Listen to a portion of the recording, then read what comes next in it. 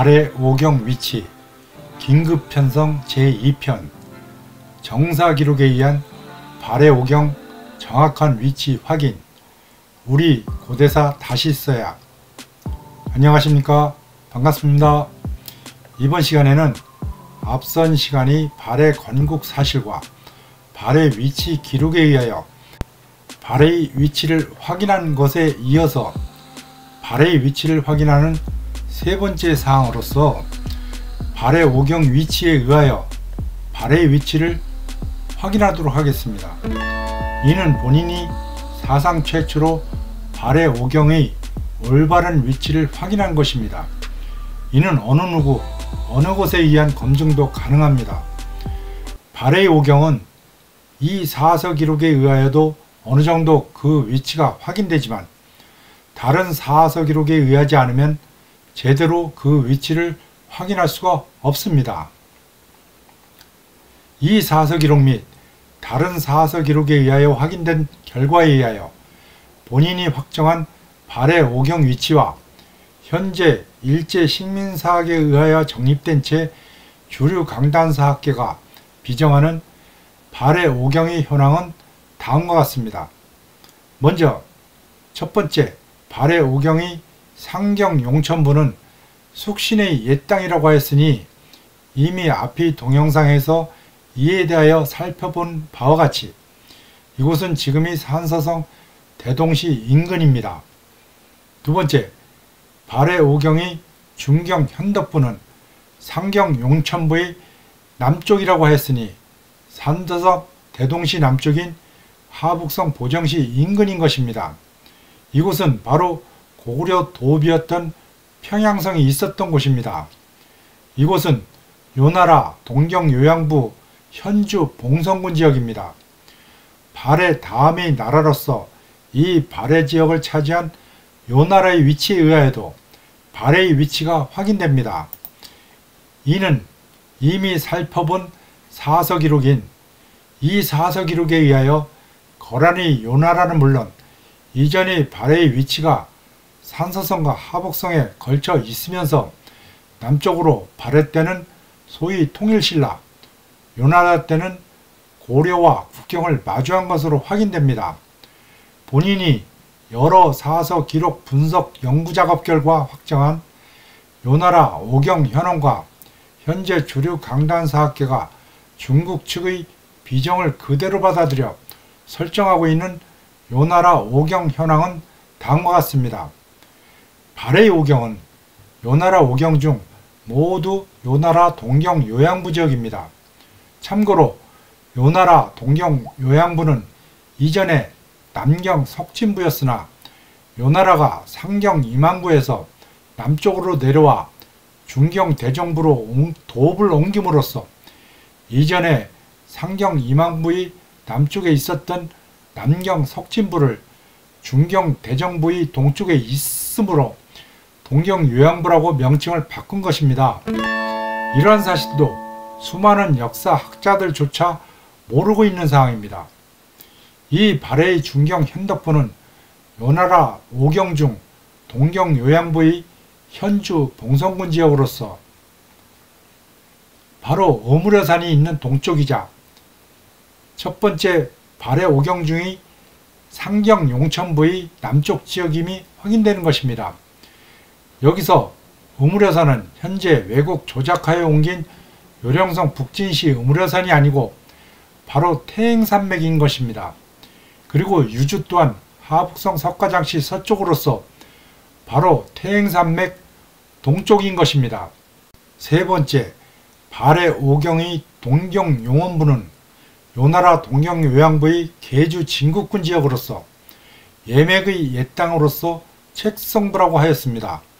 이는 중국 사서가 예와 예맥을 착각하여 기록한 것으로서 이는 책성부이자 동경 즉 동쪽의 도읍이라는 기록에 의하여도 이는 예맥이 아니라 예 즉 예족인 신라족의 북쪽 지역이자 책성부인 동부여 지역인 것입니다. 책성부가 동부여 지역인 것은 고구려 3대 왕인 대무신왕 때 동부여 정벌 사항에 의하여도 확인이 되고 고구려 태조대왕 시기에 자주 관리를 하였던 고구려 동쪽 지역으로서 이곳은 동부여 지역임이 확인되어 이곳은 지금의 하북성 창주시 인근인 것입니다. 이곳 동남쪽 연해가 바로 일본과의 소통지인 일본도 즉 일본으로 가는 길입니다. 그런데도 주류 강단사학교는 발해를 만주지방으로 위치로 한 채 이곳을 길림성 훈춘시 인근으로 하고 있지만 이곳에서 일본 열도로 가는 것은 있을 수 없는 항로인 것입니다. 네 번째, 발해 오경의 남경 남해부는 요나라 동경 요양부의 해주 남해군 지역으로서 옥저의 옛적이자 고구려 때 비사성 지역이라고 하였습니다. 이곳은 바로 이미 살펴본 신당석 가탄 도리와 함께 산동성에 신라가 있고 이곳 인근에 고구려의 평양성인 졸본성 위치가 확인되는 귀중한 자료인 것입니다. 즉 이미 살펴본 신당석 가탐 도르기상의 안동도부인 당시 하북성 양평현이자 고구려 요동성인 곳에서 동남쪽 평양성은 바로 하북성 평양성이 아니라 산동성 평양성인 남평양성이자 하평양성인 고구려 졸본성인 것입니다.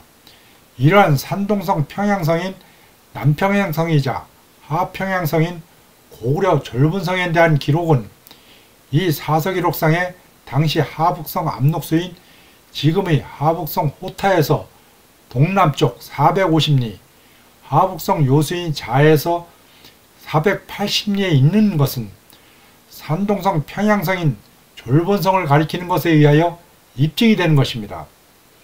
그리고 발해 시기 초주였다가 요나라 시기에 요주의 5개 현 중의 하나인 암야현 동쪽으로 신라 경계가 있고 신라가 있어 그 선원 쪽에 고구려 옛평양성인 졸본성이 있다는 것입니다.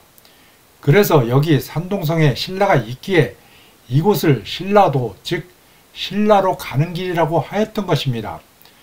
그러므로 이 발해의 남경 남해부이자 요나라 해주 남해군의 위치는 하북성과 산동성 경계인 발해 오경 중에 동경 용현부인 하북성 창주시 남쪽인 산동성 북쪽인 산동성 덕주시 낭릉시 인근인 것입니다. 이곳을 옥저국이자 고구려 비사성이라고 했듯이 이곳은 원래 동옥저나 북옥저 지역이 아니고 산동성 신라 위에 있었던 남옥저 지역으로서 고구려 비사성이 있었던 것입니다. 현재 주류 강단사학계는 고구려 비사성을 현재 요령성 요동반도 끝에 비정하고 있습니다. 하지만 이곳은 동쪽으로 신라도 없고 서남쪽에 옛 평양성도 절대 없는 것입니다. 이곳들은 모두 바다 한가운데입니다. 더군다나 이 고구려 비사성이 있다는 발해 오경의 남경 남해부를 주류 강단사학계는 함경도 함흥이라고 하고 있습니다. 그러면 여기 함경도 함흥에 고구려 비사성이 있다는 것인가요? 그런데 비사성은 요동반도 끝에 두고 있습니다. 전혀 맞지를 않습니다. 이것이 현재 주류 강단 사학계에 의한 우리 고대사 현실인 것입니다. 더군다나 주류 강단 사학계는 이 발해 오경의 남경 남해부의 위치를 지금의 한반도 함경도 함흥이라고 하고 있습니다. 이는 한반도 서쪽 대동강 입구로부터 동쪽 원산만까지를 소위 통일신라의 국경선으로 한 것에 의한 것입니다. 과연 소위 통일신라가 삼국을 통일하였는데도 한반도도 전부 차지하지 못했다고요? 이것이 사실일까요? 바로 이것이 또한 현재 주류 강단사학계의 우리 고대사 현실입니다. 다섯 번째, 발해 오경의 서경 압록부는 요나라 동경 요양부의 녹주 압록군 지역으로서 고구려 고국 지역이자 비리왕의 옛 지역으로서 비류수가 있는 지역이라고 하였습니다. 이곳은 요나라 동경 요양부의 녹주 압록군 명칭 그대로 하북성 압록수 서쪽 지역입니다. 비르스는 고구려 건국시조 추무왕이 산동성 졸본성에 건국한 후 곧바로 원래 선조인 해모수와 유아부인이 활동하던 하북성 압록수 지역인 송양의 비류국 지역으로서 이곳을 고구려 시조 추무왕이 곧바로 점령하여 다물도로 삼은 지역입니다. 이후 고구려 주요 5개 지역 중의 하나인 고구원 지역이 이곳입니다. 이곳은 바로 당시 하북성 남록수 지역인 지금의 하북성 석가장시 심택현 지역으로 비정됩니다. 이곳을 당나라에서는 자기들에 대한 조공도 즉 조공하는 길이라고 했는데 이곳은 당나라의 선조인 선비족이 탄생한 지역으로서 이곳은 수나라가 전국을 통일한 후 이곳을 차지하여 이곳을 지키고자 이곳 바로 옆에 있었던 고구려를 공격하였던 것이 바로 고구려에 대한 수나라와 당나라의 고구려 공격인 것입니다. 이후 소위 나당 연합군에 의하여 고구려를 멸망시키고서도 원래 차지한 이곳 이외에는 잠시 점령하였다가 이내 발해에게 물려주게 된 채 이곳 임금만을 발해와의 국경으로 한 채 이곳을 발해의 그들에 대한 조공도라고 하였던 것입니다. 이러한 사항이 역사적 진실인데도 불구하고 일제 식민사학에 의하여 한반도 북부에 발해를 왜곡 위치시켜 놓고 이 당나라 조공도를 길림성 통화시로 비정하여 놓았습니다. 이곳은 현재 백두산 조금 서쪽 지역으로서 도대체 이곳이 어떻게 당나라와 통하는 것인지 도저히 알 수가 없습니다. 도대체 당나라가 어디까지 왔다는 것입니까? 이와 같이 사서기록에 의하여 발해 오경 위치를 밝힘으로써 발해의 위치가 한반도 북부가 아니라 하북성과 산사성 그리고 요령성에 걸쳐 있었던 것으로 확인됩니다. 더군다나 이 발해 오경의 위치는 모두 요나라 오경 중에 동경 요양부에 속하는 것이 확인됨으로써 요나라의 위치는 물론 우리 역사와 관계가 깊은 요나라 동경 요양부의 위치가 요령성 요와 인근이 아니라 산사성과 하북성에 걸쳐 있음이 확인되는 것입니다. 이는 요나라가 발해를 멸망시키고 발해의 뒤를 그대로 이어받았음이 확인됨과 동시에 우리 고대사와 관련된 모든 것을 철저히 동쪽으로 왜곡 이동시켰다는 사실을 알 수 있는 것입니다.